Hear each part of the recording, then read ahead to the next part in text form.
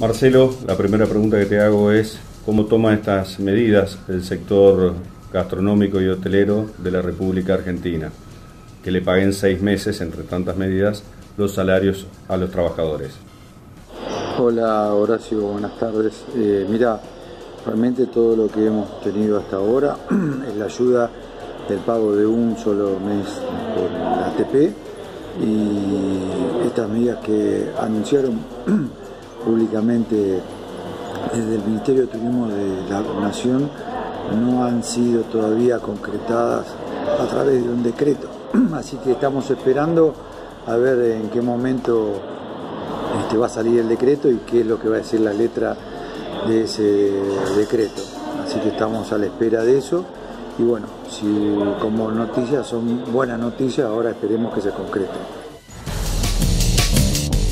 ¿Hay hoteles y o que se hayan declarado ya abiertamente en bancarrota?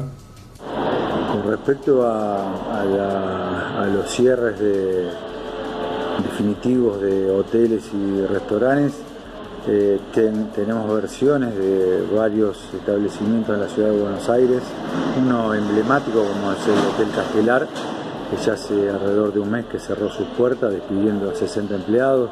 También hay un hotel en Córdoba eh, tradicional que está ubicado en el centro de la ciudad, eh, que también ha cerrado hace unos días y, ha indemnizado a su gente.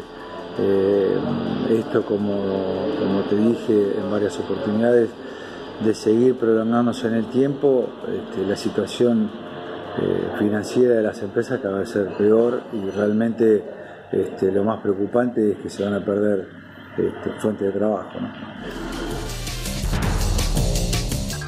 ¿Qué se habla en el sector? ¿Cuánto pueden aguantar las empresas con estas medidas, que son paliativos? Bueno, a medida de que van pasando los días y la actividad está parada, realmente cada vez es más preocupante. Nosotros este, necesitamos que se reactive de forma este, rápida eh, la, comercialización en la venta de los hoteles y bueno, ni hablar en los restaurantes y bares que también este, tienen eh, desde hace casi dos meses un ingreso cero y la duración de este, este conflicto eh, sanitario va a hacer que cada vez la situación sea peor. ¿no? Realmente es muy preocupante porque eh, los negocios no, pueden funcionar y digamos, los alquileres corren y, los impuestos corren y tenemos una serie de costos que no se pueden obviar por más que el establecimiento esté cerrado. Así que este, realmente la situación es, este, muy preocupante y esperamos, esperemos tener prontamente una respuesta de parte de las autoridades. ¿Hay conversaciones con el Gobierno Nacional de cuándo se volvería a trabajar abiertamente en materia de turismo? Nosotros desde FEDERA estamos trabajando en generar un documento para elevárselo a las autoridades este, que comprende en, tres fases o en, tres partes.